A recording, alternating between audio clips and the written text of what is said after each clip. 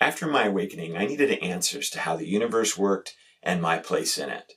But because I didn't totally trust my intuition yet, I turned to pendulum dowsing to get those answers. In this video, I'll walk you through how to use your pendulum and I'll also be performing a pendulum clearing activation, which you can participate in just by watching the video and holding the pendulum in your hand.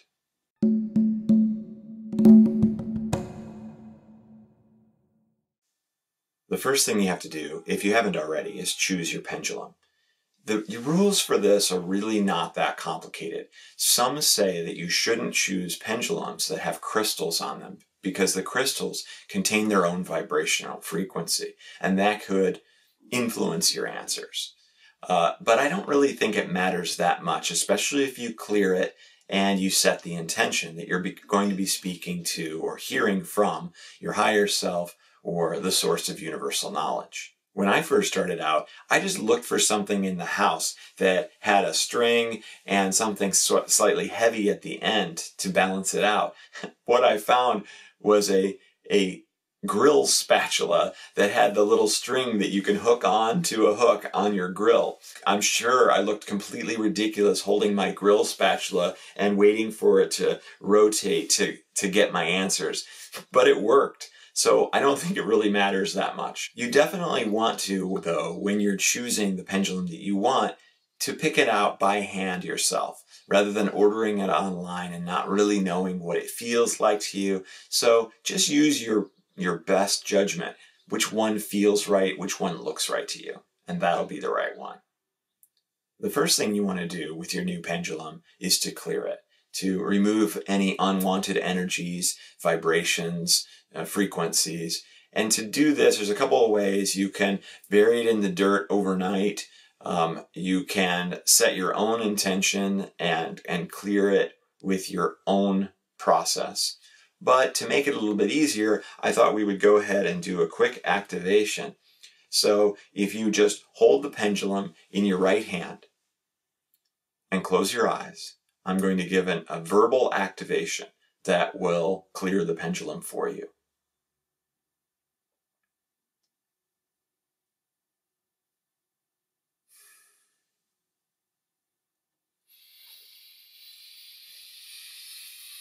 Oh, Awaken. Okay. You can open your eyes. It's that simple. And so now your pendulum is cleared.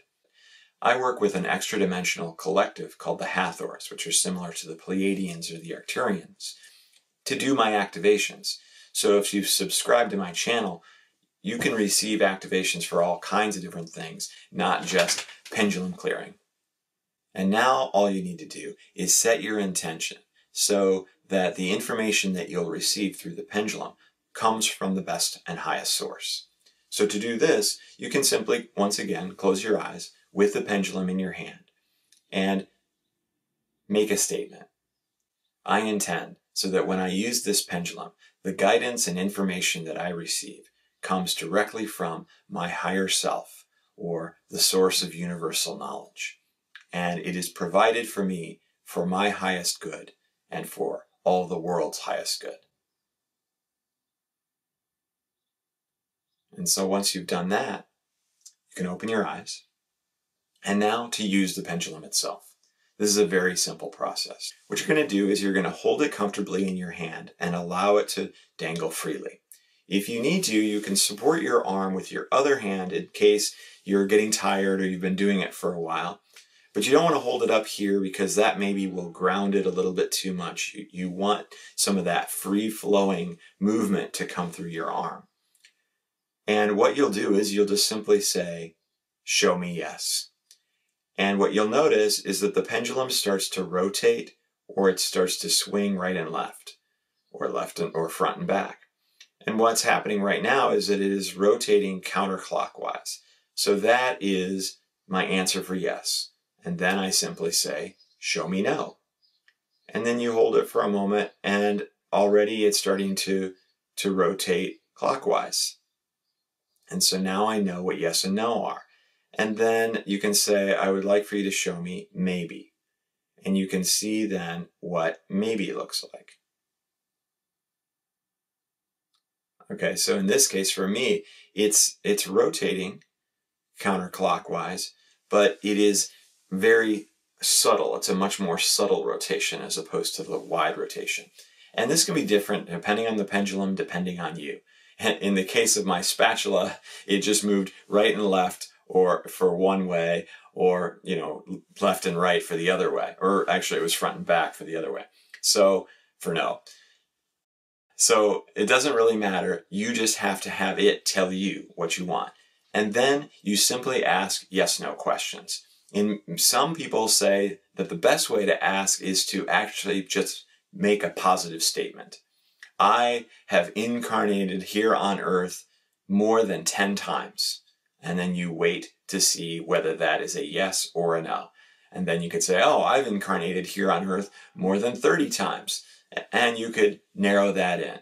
Whatever that it is that your question is, go ahead and ask it. Now, one thing that I would recommend is that you do not ask questions about the future. You can, and you will get answers. But the problem is that there are many timelines. And so maybe in this particular moment, on this particular timeline, this prediction that you're making will come true. But so many factors come into play and change your timeline. It can also cause you to get rutted into a particular timeline that maybe you wouldn't like after all. There may be some other options that you would prefer, but because you believe so strongly that that's what's going to happen, you move down that particular timeline depending on your prediction. For a little explanation as to how this works, you're receiving the information from your higher self or from the voice of universal knowledge. And when you're holding the pendulum still, what's actually happening is your, your arm is slightly moving because your body knows the answer to the question. The, the, the motions are so subtle, you can barely even tell that it's happening. And if you were to put the, the hang your, your pendulum on a hook and ask the same questions, nothing would happen at all because it's all coming from within you. If you'd like to learn a little bit more about pendulum dowsing from a scientific perspective, then I highly recommend you watch Naza Nalani's video on the same topic that's coming out at about the same time. I'll provide a link to that in the description below. Once you've mastered the pendulum, I really encourage you to go ahead and start to try to get the information without using the pendulum. The pendulum, first of all, is slow and clunky. If you need a quick answer, it's hard to get it. You've got to get your pendulum out and do all these things to get that one answer to your question. But also, it's kind of a crutch. And so I really encourage you to reach deep within and ask your inner master the answers to your questions instead of relying on this external object. And I actually have a video that you can watch about talking to your inner master and I'll put the link above right here. If you're interested in more activations from me, you can download this nervousness relief activation, which is really quite powerful and amazing when you are about to do something that would normally make you nervous, or if you are in kind of a nervous state all the time or an anxiety state. This will help relieve that feeling from you instantaneously. And you can download this from my website, and you can find the link in the description below to do so. Thanks so much for watching this video. I hope it helped you on your path to ascension. You can click the like button, you can subscribe and click on the bell icon, and you can watch these other videos to learn more about what I do and get some free and amazing activations. I'll see you on the next one.